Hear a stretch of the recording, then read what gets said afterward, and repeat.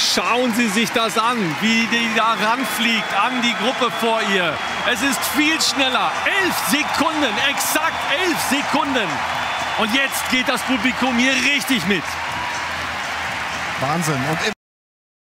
Und feiert sie, flippt aus. Es wird ein überragender, ein sensationeller Rekord.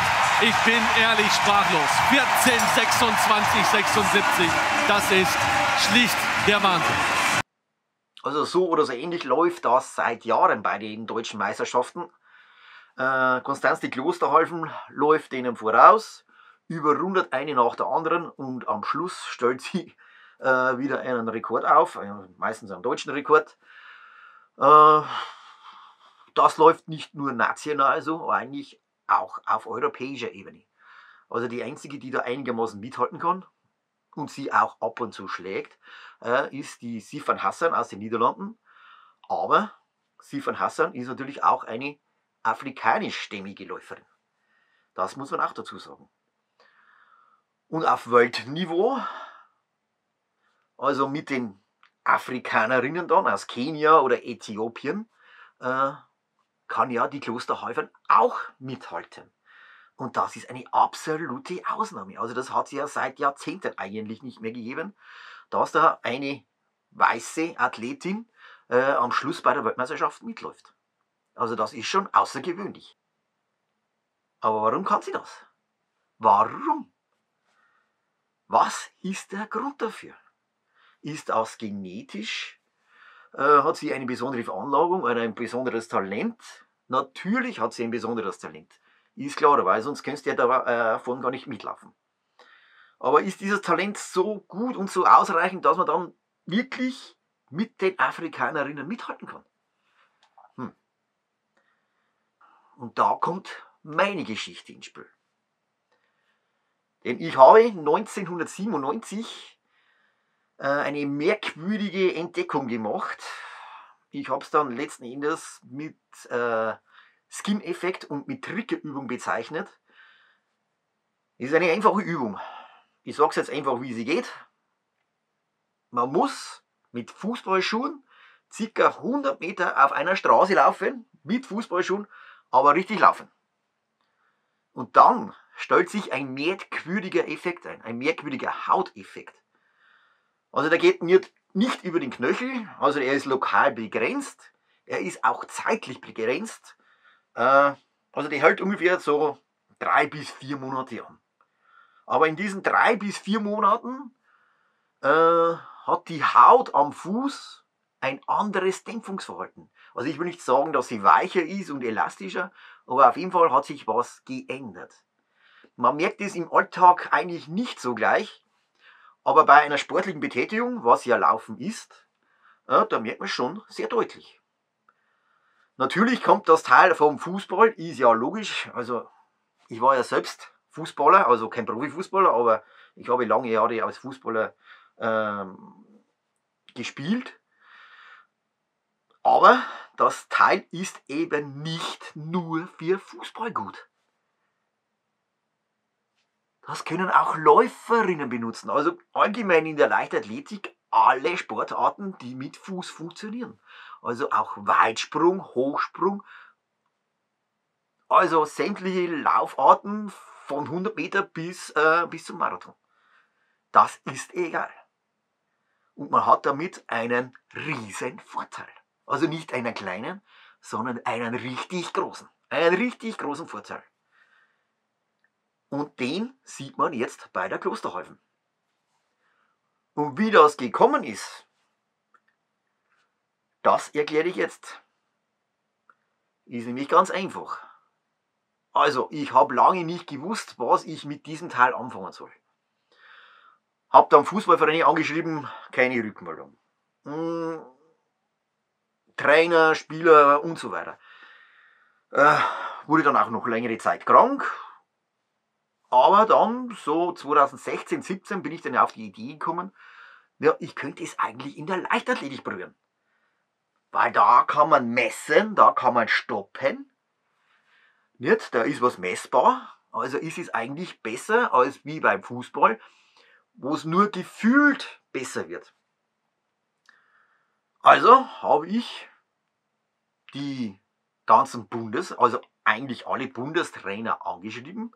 Äh, die E-Mail-Adressen waren ja auf der Webseite von leichtathletik.de vorhanden. Und von diesen 30, 40 Leuten, also von diesen 30, 40 Trainern haben ungefähr fünf oder sechs zurückgeschrieben. Also ich habe praktisch denen geschrieben, ich habe etwas entdeckt, das beeinflusst die Haut, äh, muss noch alle drei bis vier Monate wiederholt werden. Und äh, ich würde das zur Verfügung stellen, würde auf eine Rückantwort warten. Also mir hat dann auch ein Einzahler äh, genügt.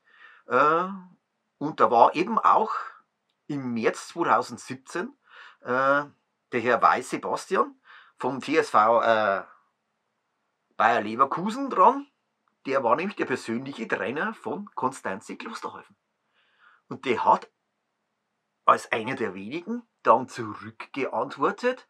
Und da natürlich, als meine Reaktion natürlich, hat der natürlich das volle Programm bekommen. Also der wusste auf jeden Fall dann Bescheid. Was er dann gemacht hat mit dieser Mail, also ich vermute, er hat es einfach weitergeleitet und Klosterhaufen hat es dann einfach gelesen. Wann sie es dann umgesetzt hat, keine Ahnung. Also ich vermute mal irgendwo 2018 wird schon noch gewesen sein. Äh, dann ging nämlich auch schon langsam die Zeiten runter und äh, bis es dann halt quasi zur Explosion 2019 gekommen ist. Äh, aber das ist kein Zufall nicht. Also wer da glaubt, wer da glaubt, dass das jetzt nicht in Verwendung ist, äh, der glaubt auch noch an den Osterhasen. Also wer so mitlaufen kann mit den Afrikanerinnen, und ich weiß, wie das wirkt, ich habe das selber jahrelang gehabt. Und ich war damals noch ein bisschen sportlicher, als ich heute bin. Also ich weiß, wie das eine, wie das die Leistung beeinflussen kann. Und wie man damit laufen kann. Auch wenn ich kein Leichtathlet war. Aber ich weiß, dass man damit effektiver laufen kann, kraftsparender, schneller und ausdauernder. Und alles miteinander. Und alles nicht zu knapp. Also das muss man sich erstmal geben. Eine Übung, die man alle drei bis vier Monate wiederholen muss, die nur eine Minute dauert, die aber dann solche Auswirkungen hat. Also da möchte ich mal einen sehen, der was Besseres hat. Und dass das die Konstanze Klosterhalfen nicht gemacht hat. das klappt ja wohl selber nicht. Und das ist der Grund, warum Konstanze Klosterhalfen mit den Afrikanern mithalten kann. Und nichts anderes. Sie mag schon gut gewesen sein vorher. Also 2015, 2016 war sie auch schon gut. Oder ob sie jemals so weit gekommen wäre, dass sie wie bei der WM dann mit den Afrikanern mithalten kann. Ich glaube nicht. Das wäre auf europäischem Spitzenniveau gewesen, aber das europäische Spitzenniveau ist noch zwei Etagen unter der afrikanischen. Also da wäre nichts gekommen. Ich kann es natürlich nicht beweisen. Kein Mensch wird da dabei gewesen sein. Äh, ich habe das auch selber nie gesehen, wenn einer mit, der, mit Fußballschuhen auf einer Straße läuft. Aber sie muss es gemacht haben. Es ist keine schöne Übung. Ich habe das nie behauptet. Und die meisten, von denen ich wusste, dass sie es gemacht haben, haben es wahrscheinlich heimlich gemacht. Auf irgendeinem Waldweg, des Nächtens oder irgendeine ganz einsame Straße. Also ich habe das nie beobachtet, obwohl ich immer die Auswirkungen nur, nur gesehen habe. Aber die Auswirkungen sind dramatisch. Und das wird sich, wenn das jetzt ein bisschen populärer wird, richtig auf die Leichtathletik auswirken. Da werden die Rekorde purzeln. Und nicht zu knapp. Also da sind Leistungssteigerungen im zweistelligen Prozentbereich drin.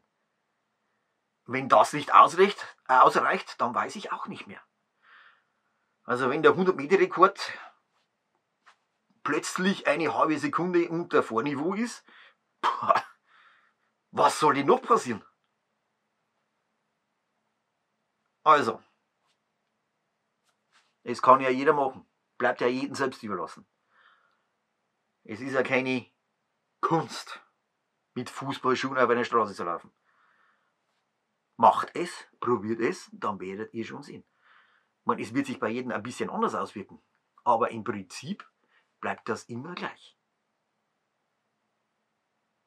Und wer mehr zum Thema Skin-Effekt erfahren will, dem empfehle ich dringend die Playlist zum Thema Skin-Effekt.